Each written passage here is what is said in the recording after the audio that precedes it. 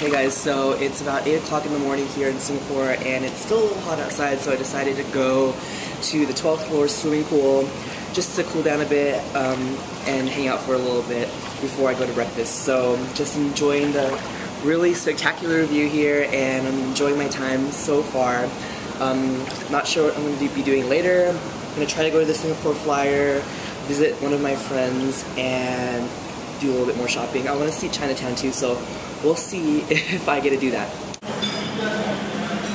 It's my breakfast today. Got some French toast, bacon, eggs, chicken sausage, hash browns, noodles, cheese, and pasta. There's more back there, so this is my first round. Um, orange juice, yeah. Next I have a fish porridge, which is kind of like congee and kind of like uh, arroz caldo. Yeah. So right now I'm going to this place called Lucky Plaza. Apparently it's Filipino Central, so we'll see if I can find any good deals here because I hear that there's a lot of um, souvenirs in that mall. I got some magnets and a keychain and the lady over there, there's like several workers, but um, one of them was like from Singapore and she was trying to sell it to me for seven dollars like for the three items but then when I went to um, kind of like a few steps away near the another worker who was Filipino. She's like are you Filipino? I was like yeah but I'm from the US and she's like oh five dollars. I'm like that's right homie hook up. Way to the promenade um, MT MTR station. I always get confused MTR and MRT because I think it's MRT here. But um, yeah, I'm gonna go to the Singapore Flyer. I have to take two different trains, and I just got a, um, a transit card, which was about like 12 uh, Singapore dollars. So yeah.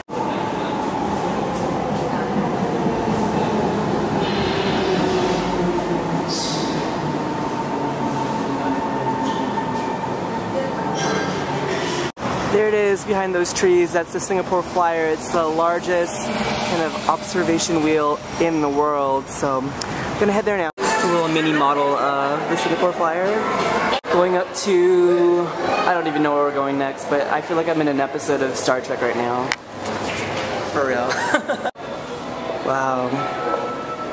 It's very Star Trek-like, right? Thank you. Let's get inside.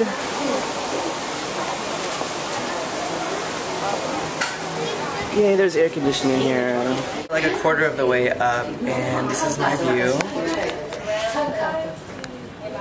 And you can see all the cables kind of running through the flyer and each of the cars um, right there. This room is actually surprisingly really big, so. I don't know if you can see, but there's a whole bunch of ships on the water as well. And I have no idea what that is. I'll have to research that. Maybe I'll put it in an annotation below. We're almost at the very top. It's the view.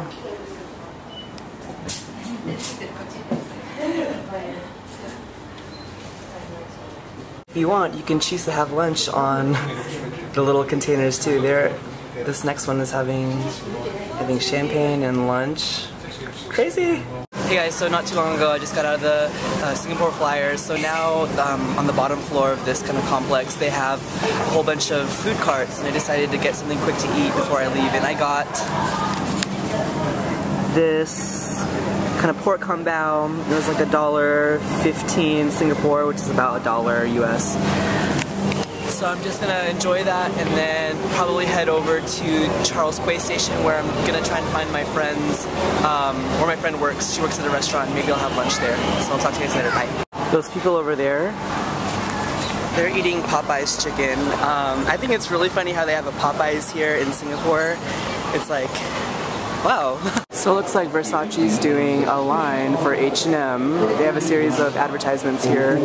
Um, that dress from H&M is $3.99, um, which is probably like 250 US. I don't know, maybe I'll go check it out. Right now I'm at Clark Quay and I'm on my way to go to Graze where my friend Trina works. Um, I don't know where it is, but hopefully I'll get there. But in the meantime, Look at that, that's really cool. It's just a building with different colored window panes. Like there's gold, red, green, blue. And there's, um, and this is called the Singapore River.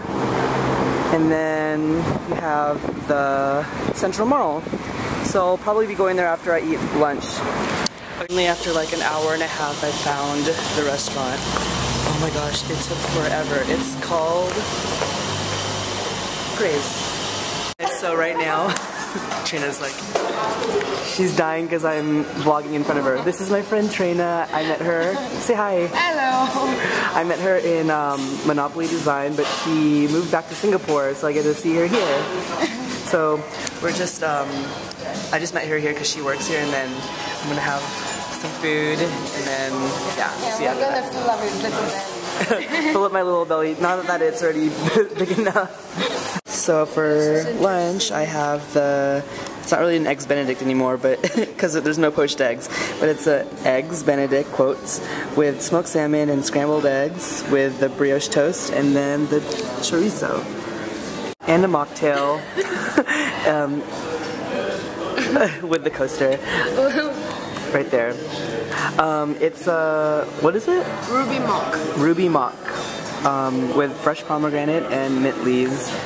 So it's not entire, it's not alcoholic at all, but it's supposed to um, be really sweet and yummy and refreshing. And then also I got a mocha. Thank you. Say, say hi to the camera. Hi.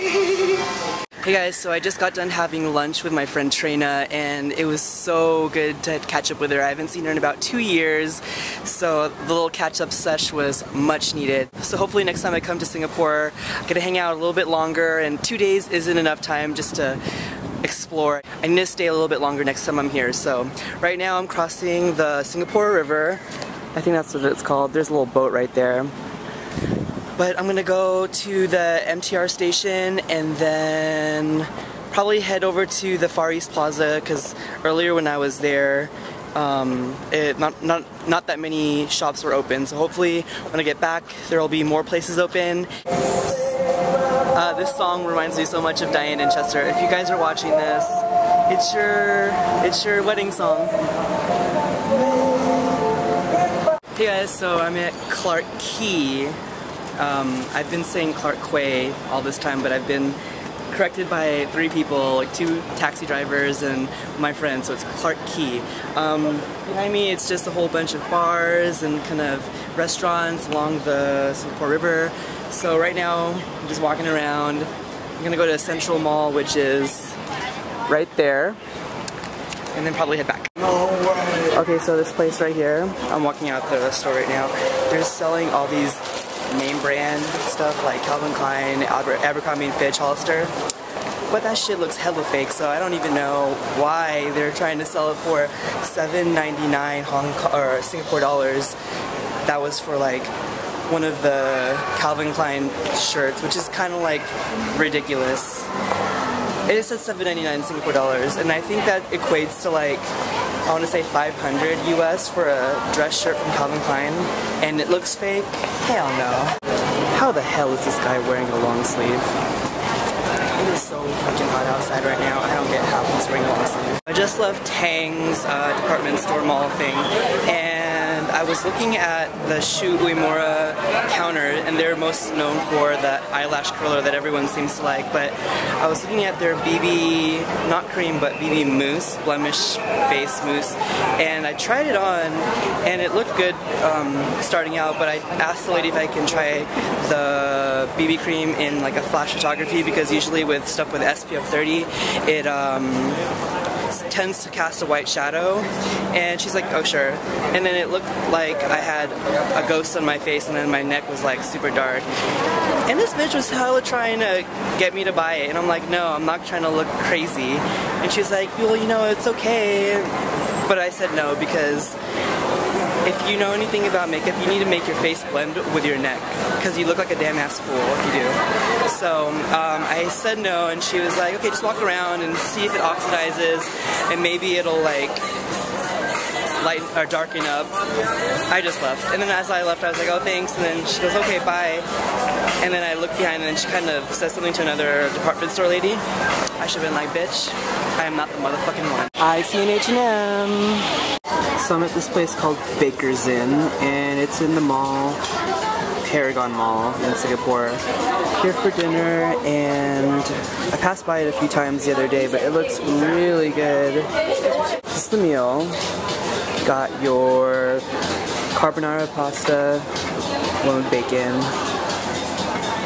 two pieces of bread with butter, looks like tomato soup, salad with bell peppers, and it looks like a mango mousse. That's the cake of the day. Back there, this thing right here, it's an Italian soda. Not the normal Italian soda that we're used to, but it doesn't have half and half in it. It just looks like it has the syrup and the club soda. Anyways, time for me to scarf this down. Hey guys, I'm walking back to the hotel right now after dinner, but just wanted to show you that this is the uh, hotel that I'm staying at. Um, the video that I showed earlier where I was on the pool, that's the 12th floor where you see that kind of um, open space towards the middle right there. Um, that's the swimming pool and so to give you context, that's the street level and swimming pool's right up there. So yeah. Hey guys, I'm going to quickly do a haul video and kind of like my last remarks of Singapore since this is my last day. But onto the haul video, I didn't get too many things because honestly things here in Singapore are a lot more expensive than in the US. For example, I went to this, this Forever 21 and usually back home Forever 21 is pretty inexpensive but here it's just a lot more overpriced than back home. Thus I only got one thing here. So this is what I got. I got a blue, navy blue tank top that has little white waves on it. I think the reason why I got this, honestly, is because I'm going to Phuket tomorrow, and I only brought two tank tops with me, so I just decided to get this. Plus, it fit me pretty well, and yeah, I like the, the sizing, the color, and the graphics right here. This was about 31 Singapore dollars, so about maybe $25 US. I know it's a lot more expensive back home, but um, I liked it and decided to get it. And then I went to Topman. They don't have a Topman back in Seattle, so I decided to get this item that was a little bit more expensive than the other tank top. I got a tank top here as well. It's this uh, dark green and kind of bright red tribal print uh, tank top, and I normally wouldn't get something this expensive. This was like 33 uh, Singapore dollars, which equates to maybe like 27, 28 US dollars. But I like the tribal print, and since there's none back home, I decided to get it since I'm on vacation anyways. One thing about this is I've seen Indian Native American tribal print throughout many stores in Asia, even the non-US clothing stores, and I think it's really funny because I don't even know that this is a Native American print. Or maybe I'm just ignorant and these prints occur from other cultures in Asia. I don't know. But anyways, that's that, and I really like that color. Probably going to wear it in Phuket as well. And then I got, super simple, a shot glass that says Singapore. Souvenirs. And then afterwards I went to Pedro. It's in the Ion Mall. But um, Pedro is basically a high. It's kind of comparable to Aldo, but I think a little bit more more high end. Um, they have shoes, accessories, and bags. But I got a bag. It's brown and it has like a canvas tan um, front with the leather bottom and the leather handles. It's about 16, 17 inches wide, so it's perfect for me to store my MacBook Pro if I choose to put it in here and it has zipper on the top to close and open and as well as these little belt loops to strap the shoulder strap on it so you can hold it by the handles or carry it on the shoulder with the shoulder strap. So that was about 116 Singapore dollars, so about maybe 100 US dollars. And then afterwards I went to Lucky Plaza I'm gonna I probably showed a video clip of me going there earlier in this video, but I went to this place called Venom, and again with a tribal print, I got a black and white tribal print t-shirt. Fit really well with me. The funny thing is, this is an extra large, and I don't know if it's because it's the Asian size, but I'm obviously not an extra large in US standards. I'm more like a small medium, but this is an extra large and it fits me pretty well. Yeah. Or maybe I just gained weight while I've been here. I doubt it because I've been sweating so much in this trip and I should be losing losing something, like losing some weight. And then lastly I went to this place called Prairie. Uh, I don't know why I'm showing the bag, it doesn't even have a logo. But I got this black t-shirt that says Love Hate uh, in dark gray lettering. It fits pretty well and it's a size medium and I really like it. So that's what I got from Singapore. I didn't get too much, but at least with these pieces I can always say I got it in Asia, I got it in Singapore, and yeah. But anyways, some closing remarks about Singapore. I realized that Singapore is the melting pot of Asia, and I agree. There are a lot of different ethnicities here in Singapore. I wish that I had a little bit more time here to hang out. Um, two days is definitely not a lot of time, especially since I've never been here before. I really wanted to go to the night safari, which I probably won't be able to do tonight because I'm just too tired and I need to get my rest before I leave to the airport tomorrow. But anyways, I'll see you guys later. Bye.